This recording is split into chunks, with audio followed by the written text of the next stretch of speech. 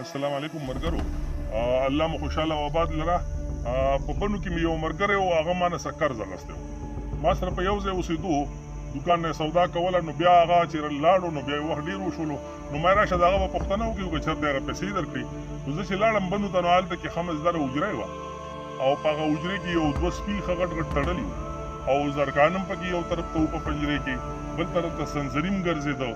او حجرې کې یو سایډ ته چې کوم دی یو اته لس کسان ناست وو هغوی روټۍ خوړله دوه بجې وې نو زه د سایډ ته کېناستم او هغه ملګری مې رالو ما سره کېناستو یو کس پکې داسې و چې په خپه باندې ګډو او هغه هغه بوټو ته ګوړم کولو اوبه یې ورته اچولې او هغه مېلمنو ته به یې روټۍ موټۍ ما خوا دېخوا کښله ده سره زه کېناستم ګپ شپ مې لګولو دی بیا لاړو ما ته هم روټۍ راوویسته دوه نیمې بجې تقریبا شولې چې روټۍ مې وخوړله نو بیا ما ته و چې چای مې تیارې کړي دي خو روټۍ مې چې خوړله نو دنه ما سې پوښتنه وکړه چې یاره ستاسو دا روټۍ ډېره مزېداره ده ماته ترنه ډېره مزېداره خوشبويي راځي ډېره پسته ده او ډېره ښکلي ده پخ شوي ده تاسو کور کې روټۍ نه پخوی د بار نه راوړی د تنور نه ده ماته وویل چې نه دا خو مونږ کور کې پخوو ما ورته وویل چې ها نو کور کې داسې دومره لایقې ښځې ستاسو شته چې وایي او زما یو ورندار ده او نو هغه دا روټۍ پخوي دا مېلمانه مېلمانه ټول د هغې په سر دي د حجرې کار هم د هغې په سر دی، اخلې پخلې او کور کې مو یو درې غواګانې ساتلې دي، د هغوی پیلې شل، هغوی سورې نه نور ته کول، نور نه سورې ته کول، د هغوی د باد باران خیال ساتل، د هغوی د اوبو ګاونډه کول او مطلب دا چې هر څه ذمه واري د کور د هغه په دې ده او بیا که هغې ټیم نه لږه اوزګاره شي نو بیا کپړې مه پرینځلي دا کار دی نو ما ورته وویل چې تاسو دومره نکمل او اندار موندلي ده دا تاسو کوم ځای نه واده کړی دی؟ هغه راته وویل چې موږ خو وده نه دی کړی دا دغه سی راوستي وه څنګه راوستي وه وی زما دا سپی چې کوم ولاړ دی دا زما ورور جنګتلو ته بوتلی و او هلته کې چې کوم دی کاڼه وه د سپو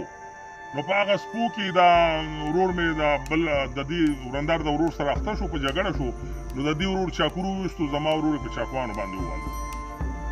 په دغه ټیم کې ما د روټۍ نه لاس اوچت کړلو او بس د خبرې ته مې خیال شو وی په چاقوانو باندې یولو هغه ټیم کې هسپتال ته مونږ یوړو خو هغه پاتې نشو دغه سی بس مړ شو چې وفات شولو د دې ورور درې څلور میاشتې جیل تیر کړلو جیل نه چې بیا بار راووتو بیا په مونږ پسې خلک لګولي چې روغه دې راسره وکړي روغه دې راسره وکړي نو هغه بیا مشران کېناسته او د دغه خورې مونږ ته په سوره کې راکړه دا چې زما اوستورندار ده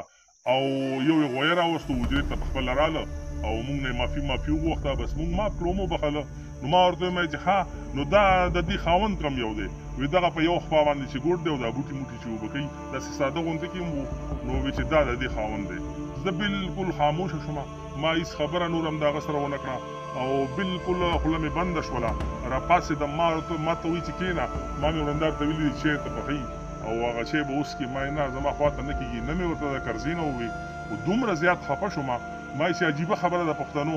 چې مونږ دومره تکړه خلک یو چې په سپو باندې مرګونه کوو او بیا په روغو کې بیا دومره بدې ورځې اغستي یو چې بیا ورته خپلې خویاندې ورکوو نو زه چې د هغه نه راوتم رسخت مې راواغستو او د حجرې نه مې خپه بار کړه نو ما ته د دیوال له خوا نه خپل خیال کې یو اواز رالو چې په سپو مین رور ته مې وایه